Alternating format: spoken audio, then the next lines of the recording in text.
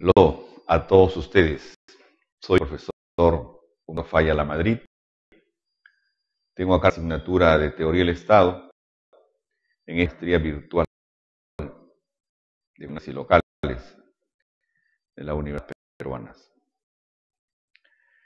Empezar con lo que en el título la positivista que fue pesada y ganó tan espacio en el derecho y en el Estado del siglo pasado, comienza hasta ahora, reconocido por Kelsen. Un pensador en Praga el 1881. Vemos su presencia en el derecho, en el mundo del positivismo hasta 1973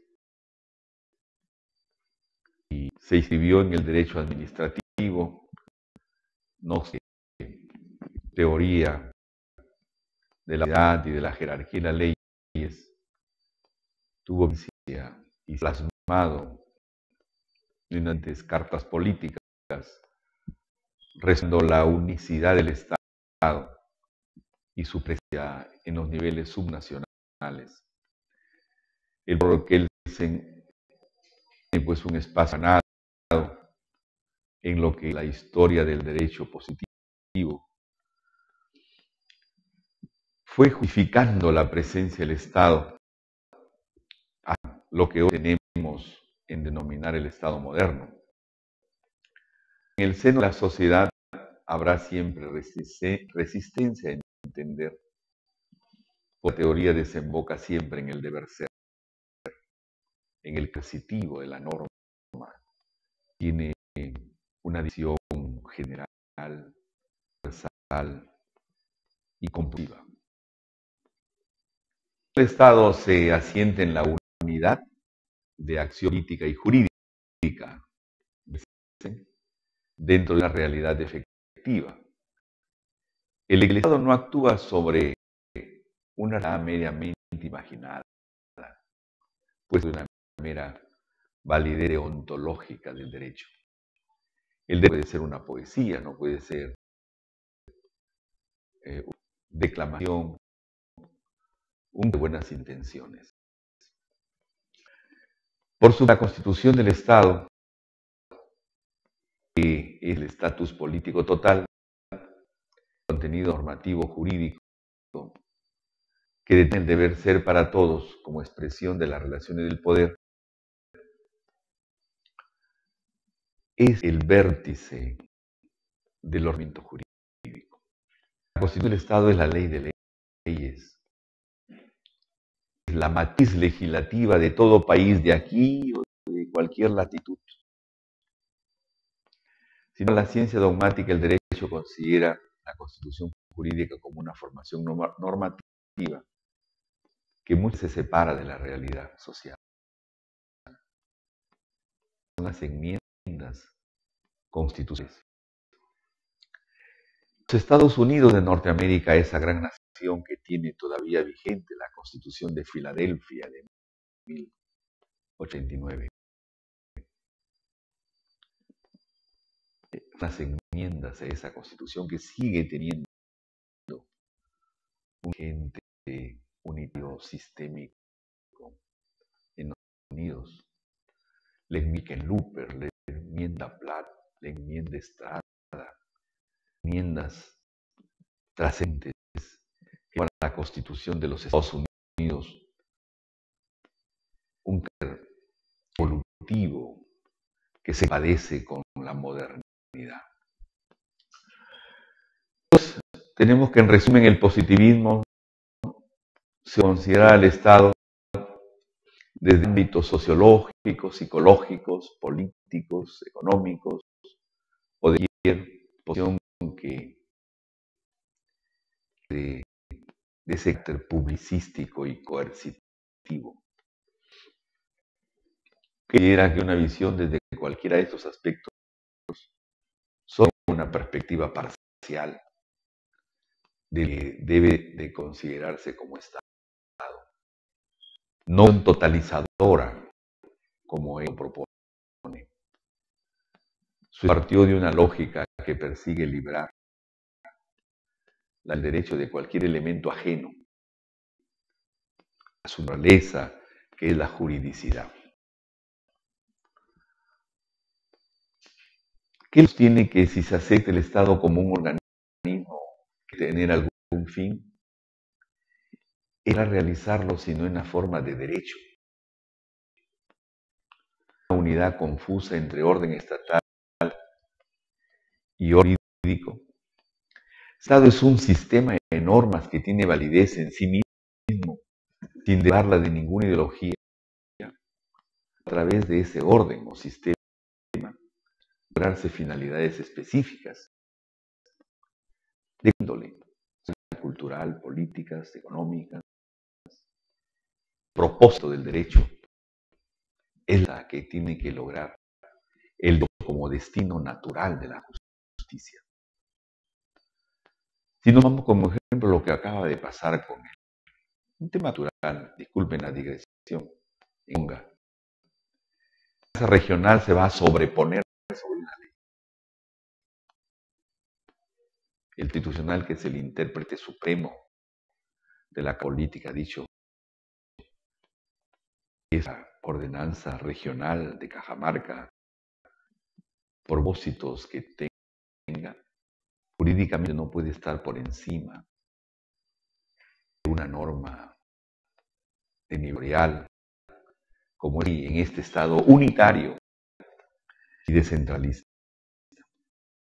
Piense, aquello que se denomina voluntad colectiva no es otra cosa que la abreviación del término voluntades particulares.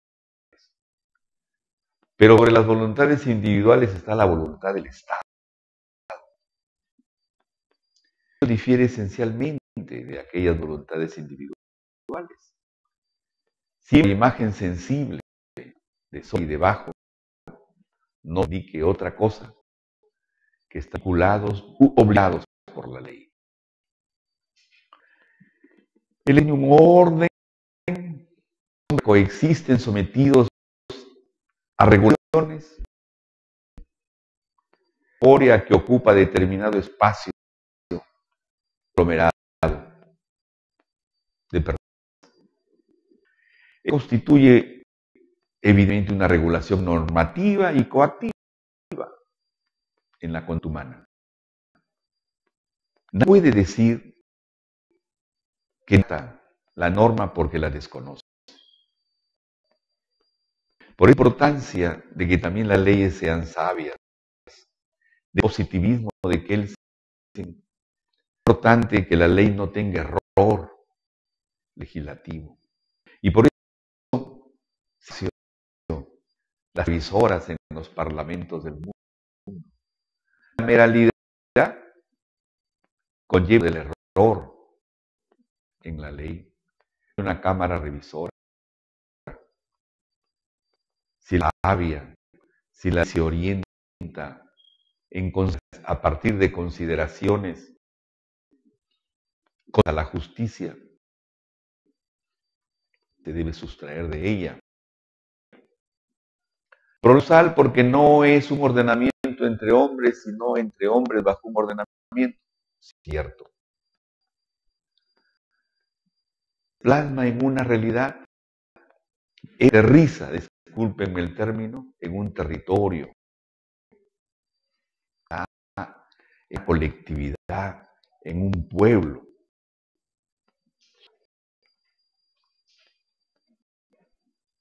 el orden jurídico. ¿Cuál es el Estado? Es el Niendi. Es una relación de poder y dominio. Relaciones que dominan y dominados. Porque la democracia es el gobierno de las mayorías con respecto a las minorías de poder o dominación estatal no es que unos hombres estén sometidos a otros, sino que todos están sometidos a las normas. La voluntad del hombre es la voluntad de la ley. Por eso emana de colegiados representativos. Tenemos China con tal un parlamento de dos mil diputados. Es por ese parlamento representa diferentes acaso nacionalidades. Nosotros, por poner el caso nuestro en el Perú, tenemos un parlamento de 130. Hay dados los hermanos de la selva, de la sierra, de la costa, las unidades ashánicas, los del nororiente peruano, no sé, los pueblos, las ciudades modernas de la costa y cités, así por muchos.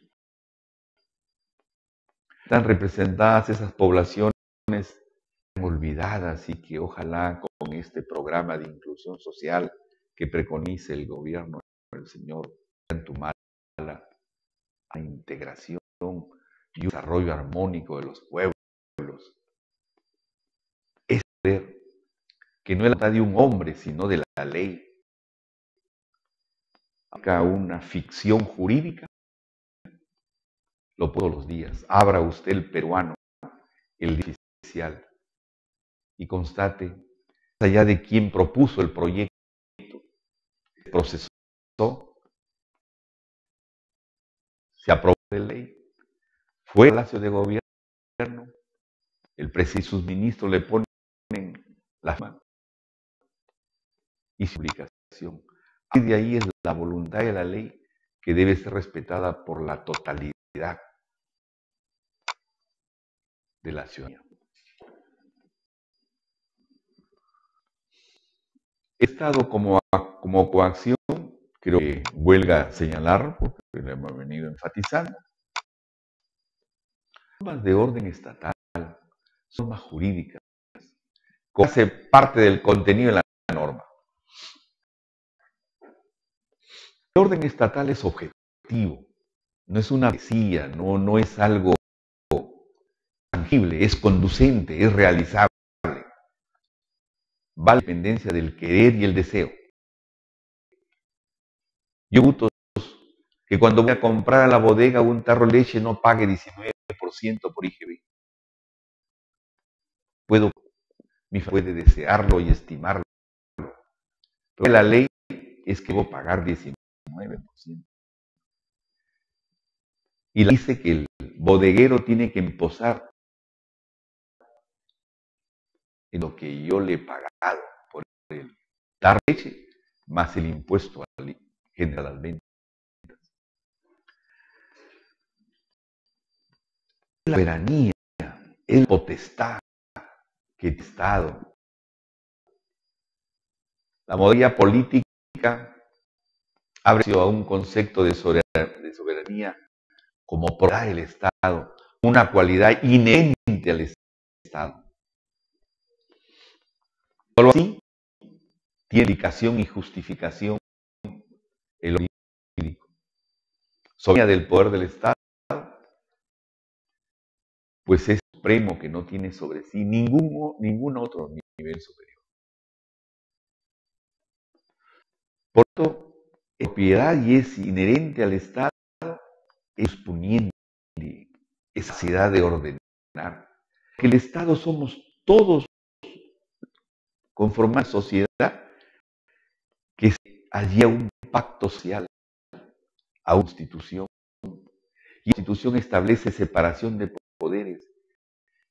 Y el la ley. Y el Ejecutivo la ejecuta. Y el poder, el poder Judicial administra justicia en quebrantan el orden.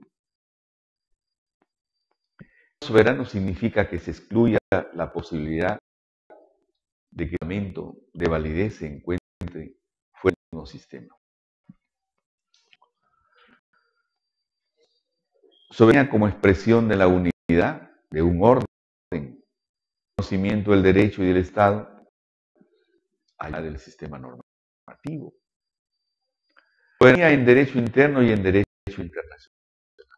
En este caso, la soberanía relativa. Ahora de globalización hay una interdependencia de los estados. Era peruano que la Corte Internacional, la Corte Interamericana de Justicia, con sede en San José, la capital de Costa Rica, no multe una y otra vez al Estado. Porque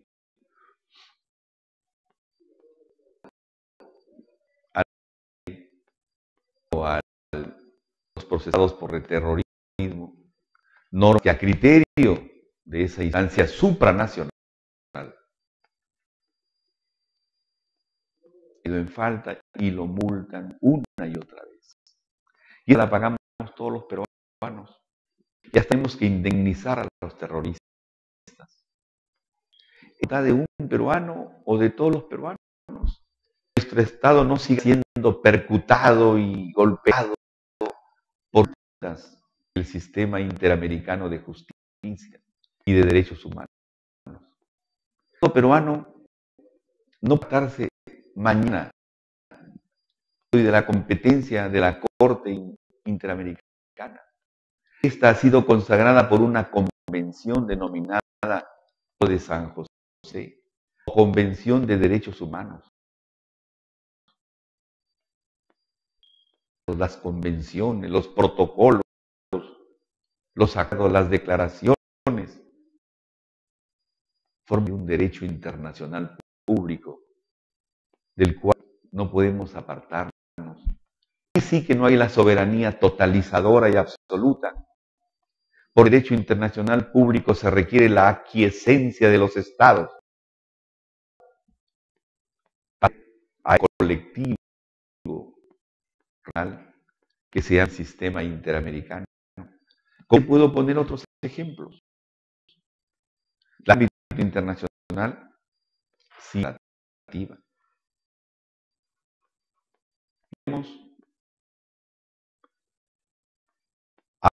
en Caragua, por ejemplo, a crear un embajador, un conjunto de gatos que comiencen a opinar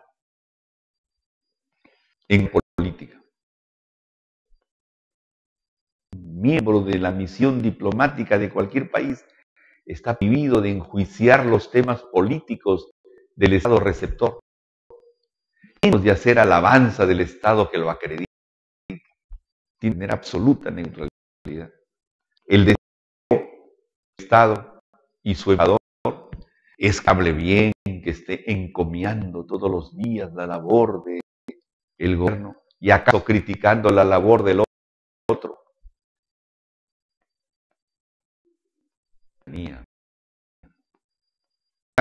que el espacio de la embajada tenga carácter de extraterritorialidad, que aunque sea una casa pequeña, es parte del Perú. Por grita a un embajador y ahí pone la bandera y el escudo del Perú.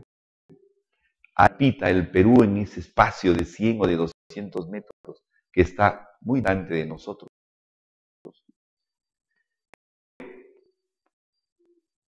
El nacional impone normas enervan esa soberanía que tenemos en el derecho interno, pero es relativo en el derecho internacional. Entonces que a terminar este, esta exposición que forma parte del segundo capítulo de nuestra asignatura de Teoría del Estado, ¿qué dice la Carta Política nuestra materia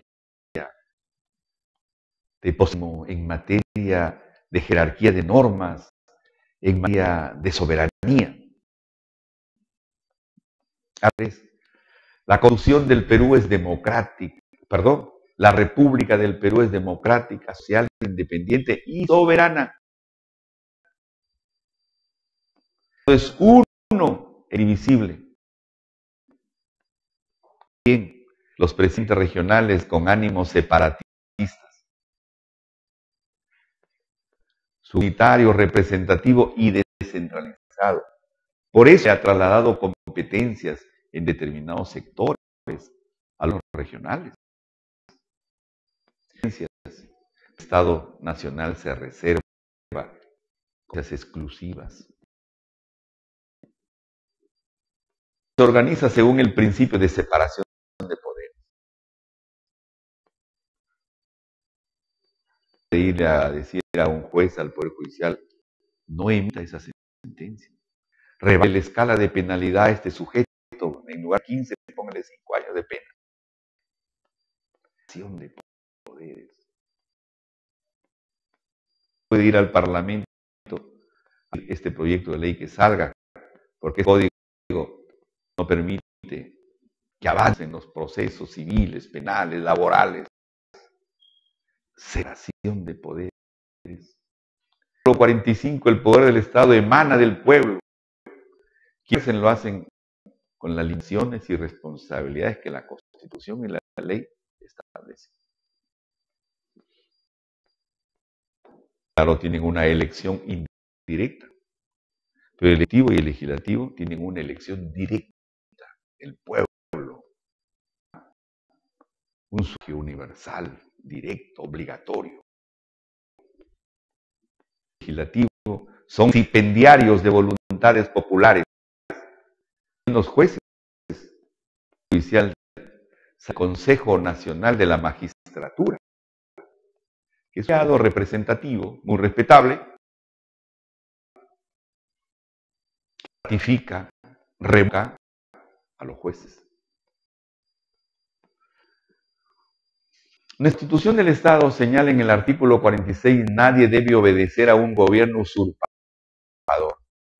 Asumen funciones públicas en la Constitución. La población civil tiene derecho a la insurgencia. La insurgencia es distinta a la sedición, el león. Insurgencia es un derecho que le alcanza cuando se quiebre el orden constitucional. Y los funcionarios en algunos tienen cláusulas democráticas si un gobierno quiebre el orden, se arma esa función. No es en el Perú. Que la ley del servicio diplomático peruano tenga una cláusula democrática que diga que en constitucional los diplomáticos dejan su cargo. Pero en el exterior. Pero, ¿cuál es se ha quebrado el orden? Y nuestros diplomáticos tienen una posición acomodaticia se adecua. Si aquí haciendo un juicio e injusto, pero este lo puedo llevar a otros sectores del Estado, diferentes escalafones que tiene el Estado, donde en general se aplaudieron. Desde donde por lo general se aplaudieron los golpes de Estado. Artículo 51. La Constitución prevalece sobre toda norma legal, la ley sobre todas las normas de inferior categoría, jerarquía, así sucesivamente. Esencial para la vigencia de toda norma. Bau, diablo, no se consultó los decretivos para adecuar a nacionales relación para suscribir el TLC con los Estados Unidos no se contó a los nativos. Prepublicar esas normas antes de las en jurídico. Pero está consagrada la teoría positivista que él dice en el artículo 51 de la Constitución del Estado. Las leyes del Perú, por ejemplo, la ley orgánica del Poder Judicial,